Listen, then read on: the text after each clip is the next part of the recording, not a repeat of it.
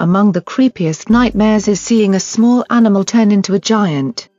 While the idea may appear like a part of a bad dream only, scientists were able to actually witness such. Scientists from the University of Central Lancashire found giant earthworms the size of small snakes in a remote island in Scotland. The specimen's measurements were said to be three to four times larger than typical worms. The average weight of earthworms are between 4 to 5 grams. The animals recently discovered, however, weighed about 12.5 grams. For comparison, the largest specimen discovered in the past was only 8 grams. As for the length, the researchers were able to discover worms that measure up to 16 inches long.